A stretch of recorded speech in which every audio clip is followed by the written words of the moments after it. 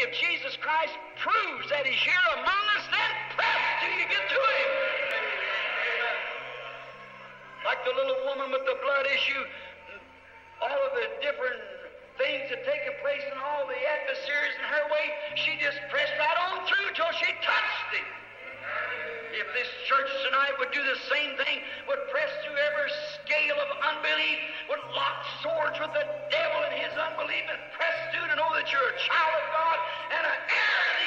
Jesus Christ standing present to show you that He's with you to keep His word. Be perseverant. To let nothing stand in your way. I'm just wondering if faith really anchors, could anything stand in your way? You don't get it. If you really got it, that would settle it. That's all.